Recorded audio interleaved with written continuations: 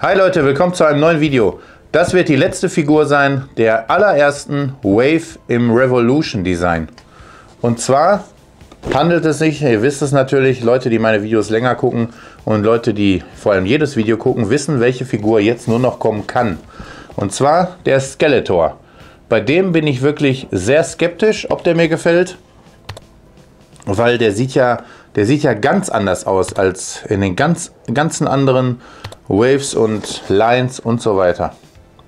Aber ich lasse mich gerne überraschen, weil er ist ja halt äh, mit Roboterteilen, mit bionischen Sachen hier bestückt worden und besonders bei dem Stab bin ich skeptisch, bei dem Widerstab. Ich lasse mich mal überraschen.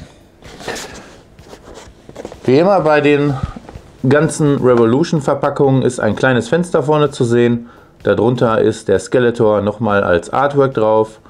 Und das Ganze geht dann so seitlich, wo der Knick ist, um die Ecke noch herum. An sich sehr cool.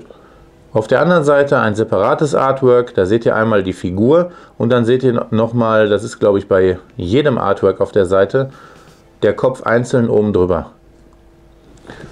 Dann seht ihr oben drauf den neuen Masterverse-Schriftzug mit, den, mit den explodierenden Steinen, den ich sehr viel besser finde als den alten.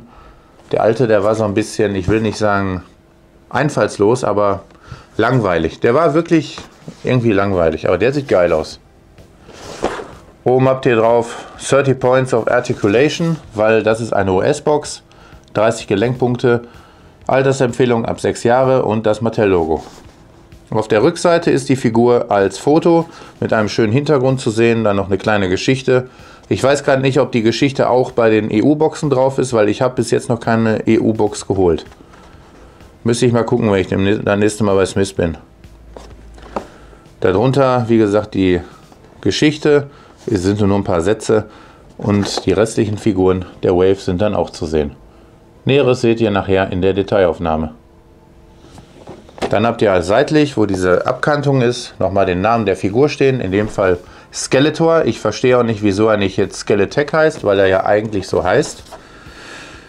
Ne? Aber wie gesagt, ich lasse mich überraschen. Oben drauf noch ein Aufkleber, weil es eine Original Netflix-Serie ist. Ein Netflix-Aufkleber.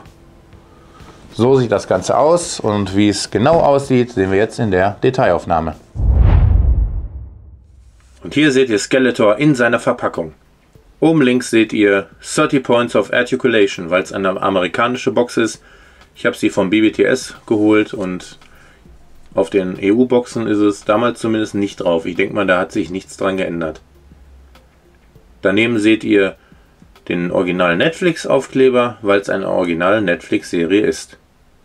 Dann Altersempfehlung ab 6 Jahre und ganz rechts das Mattel-Logo. Dann seht ihr hier vorne diesen toll designten, neu designten Masterverse-Schriftzug. Der alte ist ja kein Vergleich gegen das hier. Das sieht richtig cool aus. Das ist das, was ich geil finde. Die explodierenden Steine ein bisschen anders dargestellt, aber im Grunde doch gleich. Ich finde das richtig genial. Das ist ein richtig toller Schriftzug. Ja, die ganze, der Rest der Box, da seht ihr wieder dieses kleine Fenster das ja üblich ist bei den neuen Boxen. Skeletor ist da drin, guckt da grimmig raus. Rechts seht ihr noch äh, die Krone, die dabei ist, die mir überhaupt nicht zusagt. Ich weiß gar nicht, wofür die da ist, aber ich denke mal, das wird sich in der Serie spätestens aufklären, wenn die ausgestrahlt wird. Dann seht ihr Skeletor noch als Artwork drauf, wie es immer ist. Skeletor wurde gerade umgewandelt. Die Sektenanhänger vom Motherboard, die stehen noch daneben. Und dann seht ihr noch hier um die Ecke, wie das Artwork weitergeht.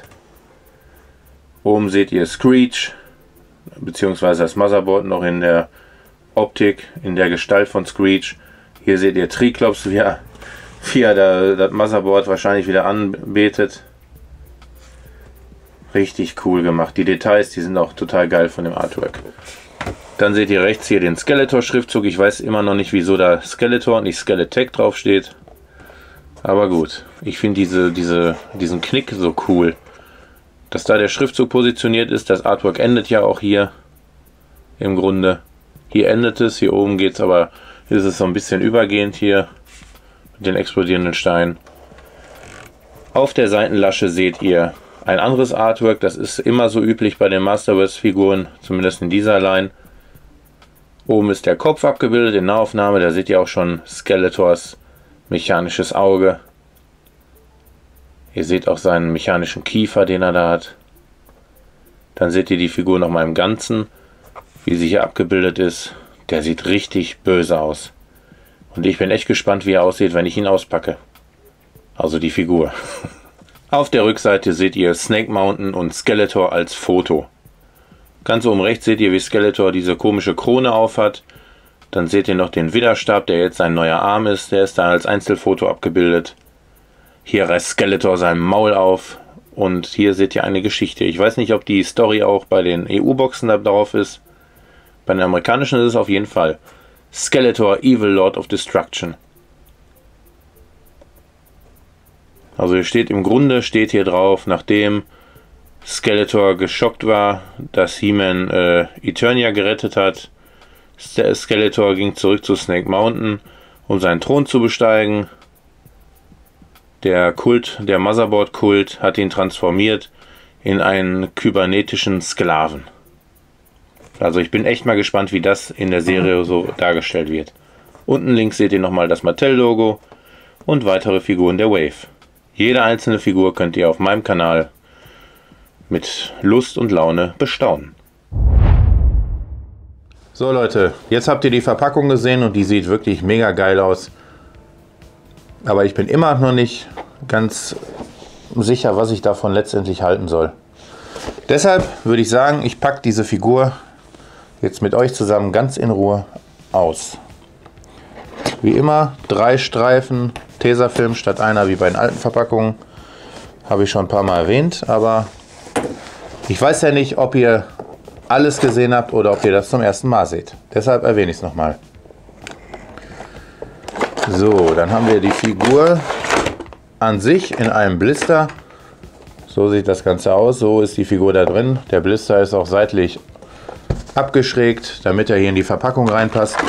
Denn in der Verpackung habt ihr noch immer ein langes Fach. Hier habt ihr extra noch eine Öffnung, da könnt ihr die, den Deckel so hochheben, damit ihr das Zubehör da rausholen könnt. Ich weiß gar nicht, ob bei dem jetzt hier auch Zubehör mit drin ist. Doch, irgendwas ist da. Weil das meiste ist ja an der Figur dran. Eine Tauschhand. Bei der Sorceress hatten wir wenigstens zwei Hände. Hier ist eine Tauschhand drin. Die werde ich jetzt aber nicht auspacken weil ich sie ganz einfach nicht brauche. Ihr wisst ja, meistens lasse ich die Tauschhände ja da, wo sie sind. Auch bei den alten Figuren war das schon so. Mir reichen die Hände, die da dran sind. Erstaunlicherweise ist bei dieser Figur eine Krone dabei. Also das... Ja. Ach, die geht aber leicht raus. Ist auch ziemlich dünn gehalten, oval. Mit ein paar Zacken dran. Ich hoffe, der Autofokus spielt jetzt mit. Ansonsten seht ihr es gleich in der Detailaufnahme nochmal. Mit der Krone bin ich mir jetzt nicht sicher, was das für eine Bedeutung hat. Weil bei der zweiten Staffel, da, da hat er natürlich keine Krone aufgehabt, bis zu dem Zeitpunkt. Aber ich warte mal ab. Ich glaube, im Januar startet die dritte Staffel, also beziehungsweise die erste Staffel im, Re im Revolution-Look. Da bin ich richtig gespannt drauf. Ich weiß jetzt nur nicht, nur gerade nicht das genaue Datum. Ich weiß nur im Januar, wenn ich mich jetzt nicht irre. So, das haben wir ab, das haben wir ab. Hier sind keine Bänder dran. An seinem komischen Widerstabarm, da bin ich am meisten skeptisch. Aber gucken wir uns die Figur mal an. Jetzt wird es kurz ein bisschen laut. So. Hängt der noch irgendwo? Scheinbar. Oder? Nee, doch nicht. So. Denn an sich bin ich ja ein Fan der Serie, auch wenn die Serie natürlich nicht viel mit den Vintage-Sachen zu tun hat mit dem ganzen Motherboard-Designer, mit der ganzen Motherboard-Sekte. Aber ich bin gespannt, weil da kam ja auch das Horde-Symbol zum Einsatz und Ich bin da richtig gespannt drauf, wie das noch alles werden wird. So. Was mir gleich auffällt, der Stand ist zumindest hier auf der Decke nicht ganz einfach, aber wenn man die Füße ein bisschen einknickt, steht die Figur schon mal. Ich zeige euch den jetzt erstmal kurz. So sieht der Skeletor, AK Skeletech, in seiner Verwandlung aus. Und hier habt ihr seinen Widerstabarm. Der sieht schon ein bisschen gewöhnungsbedürftig aus.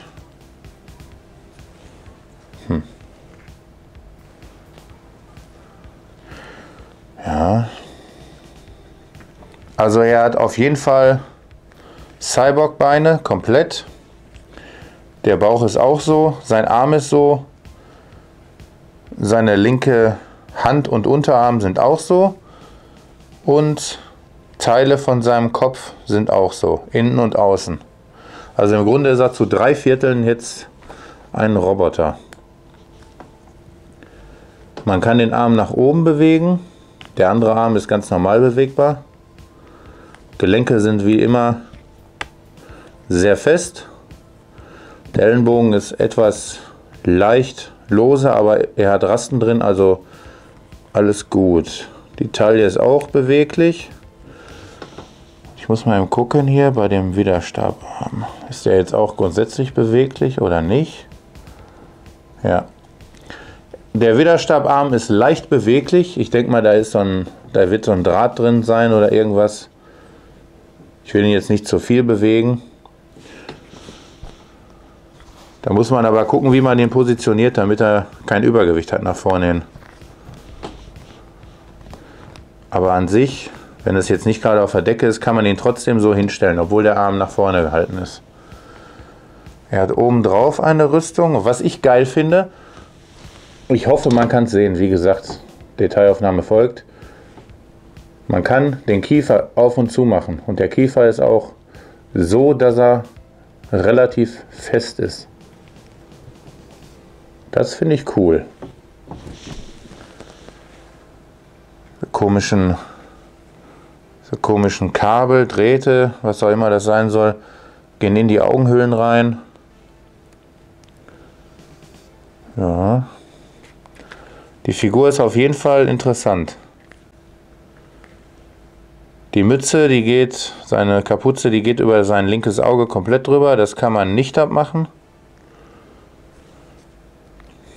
Der Kopf ist an sich ist sehr fest und sein Mantel, sein Badetuch oder was das hier sein soll, das ist auch wieder aus einem Gummi, wie bei den anderen Figuren auch.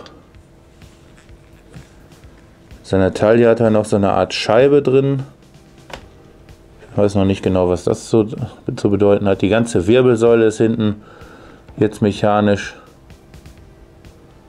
Hm, sieht auf jeden Fall interessant aus und vor allem schmerzhaft für ihn. Gut, und bevor wir jetzt noch in die Detailaufnahme gehen, ich gucke mal eben wegen seiner Krone. Die kann man ja laut, laut Foto, kann man die einfach so auf den Kopf packen, aber das scheint noch ein bisschen Fummelei zu sein. Also man muss sie auf jeden Fall erst mit der Rückseite draufsetzen. Okay. Sie sitzt ziemlich stramm, sie wird einfach nur hier drauf geklemmt. Aber mit der Krone muss ich ganz ehrlich sagen, gefällt er mir überhaupt nicht. Die, die wirkt irgendwie fehl am Platz, aber das ist wieder, wieder Geschmackssache. Ich weiß auch noch, noch gar nicht, was es mit der Krone überhaupt auf sich hat. Auf jeden Fall ohne sieht er für die Serie auf jeden Fall nicht schlecht aus. Dann würde ich sagen, sehen wir uns diese Figur jetzt mal genau in der Detailaufnahme an. Viel Spaß! Und hier seht ihr Skeletech alias Skeletor außerhalb seiner Verpackung. Also ich muss ganz ehrlich sagen, ich war am Anfang wirklich sehr skeptisch. Ich bin immer skeptisch, wenn die Figuren ganz anders aussehen als im Vintage-Look. Denn so finde ich sie einfach am besten. Aber ich muss sagen, der, der Skeletech, der sieht richtig gut aus, finde ich. Man muss ja immer den Aspekt dabei beachten, dass es ja um diese Serie, um die Revolution-Serie geht. Da kann man das nicht mit äh, den normalen Masters vergleichen, den Vintage Masters, den klassischen Masters. Das darf man nicht machen. Von dem Punkt aus finde ich diese Figur richtig toll.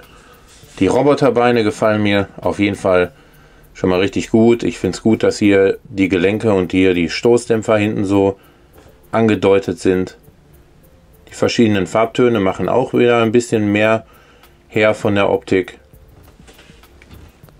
Die Figur, die lässt sich ja gut bewegen. Die üblichen Bewegungspunkte, wie bei den normalen Figuren, nenne ich es mal, die normale Beine haben, ist, ist die Figur eigentlich ganz geil. Das hier ist aus einem Gummi, wie bei jeder Figur bis jetzt von der Revolution Line. Schöner weicher Gummi. Ist aber nicht so, dass das minderwertig wirkt. Es wirkt richtig gut gemacht. Da hat er ja noch so einen Gürtel dran, dass das Ganze oben hält.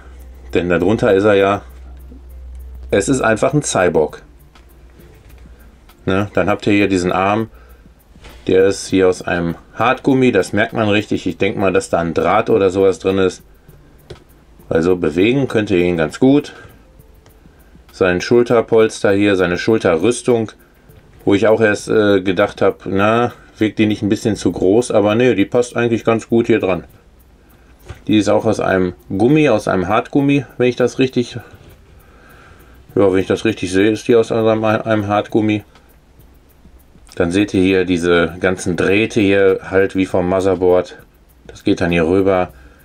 Das geht dann hier rum. Hier seht ihr, ich hoffe man sieht, hier ist das Fleisch hier an, an, an den kybernetischen Körper hier so dran getackert.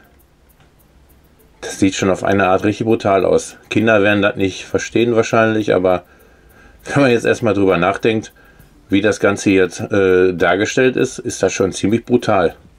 Finde ich gut. Der normale Arm von ihm, der hat ganz normale Gelenke, auch schön mit Rasten.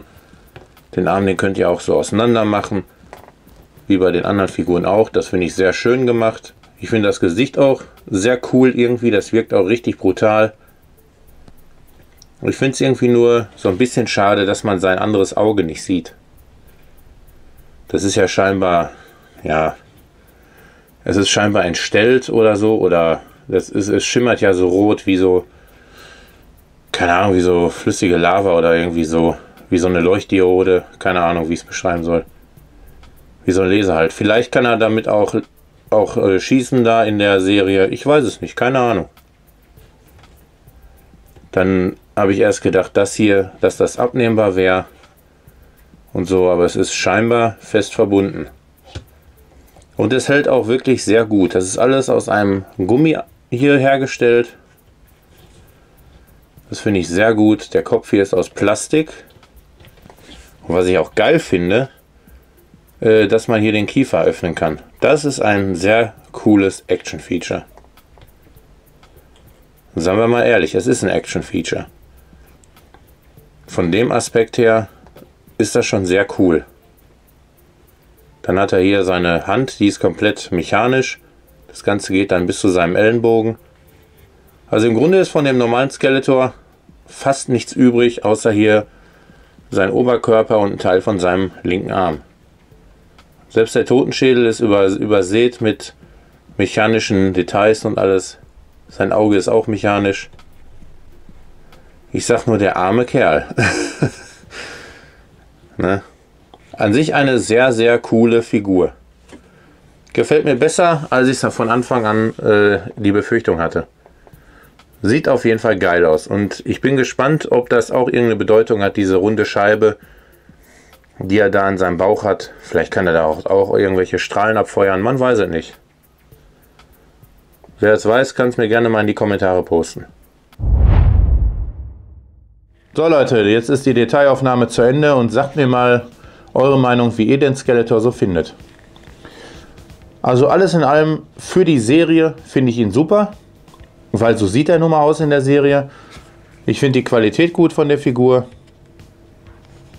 Ich finde das ganze Design ja gut. Es ist gewöhnungsbedürftig. Aber an sich ist es super umgesetzt. Nur mit der Krone, da werde ich irgendwie nicht warm. Die finde ich irgendwie fehl am Platz. Die mag ihre Bedeutung haben in der Serie. Aber Rein optisch werde ich sie nicht drauf machen, wenn, die, wenn ich die Figur ins Regal stelle.